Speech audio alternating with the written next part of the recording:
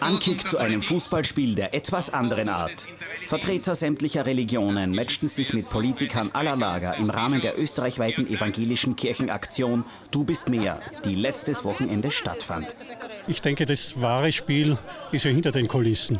Dort, wo die Begegnungen sind, wo man miteinander ins Gespräch kommt, wo verschiedene Kulturen aufeinandertreffen.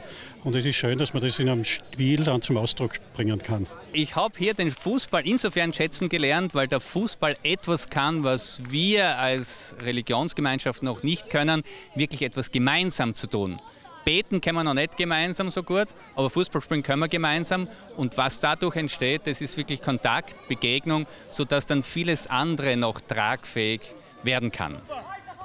Die letzte Fußball-Europameisterschaft hier bei uns in Österreich gab buchstäblich den Anstoß für dieses bemerkenswerte Spiel, das nun bereits zum vierten Mal stattfindet. Und wir sehen das ein ganz tolles Projekt im Bezirk und war mit der Maria damals die Initialzündung bei der Europameisterschaft über alle Regionen hinüber. Und äh, da kann man Barrieren abbauen und das finde ich ein tolles Projekt. Wir benutzen den Fußball, um uns da, um miteinander Spaß zu haben und um uns kennenzulernen. Damit wir, wenn wirklich irgendeine andere Sache sein sollte, wo wir gegen uns gegenseitig brauchen, damit wir dann schon eine kleine Basis da haben, wo man sagen kann, da greift man zurück. Das Team der Vereinten Religionen war am Feld überlegen und besiegte die Mannschaft der Politik mit 1 zu 0. Vielleicht auch wegen der Unterstützung von ganz oben. Erstens das, Zweitens glaube ich, dass das Zusammenspielen zwischen Religionen tatsächlich in Graz wesentlich besser funktioniert als zwischen den Parteien. Aber ich würde es denen auch wünschen. Aber dafür, dass wir äh, als Mannschaft noch nicht zusammengespielt haben, über Parteigrenzen hinweg, war es ganz gut.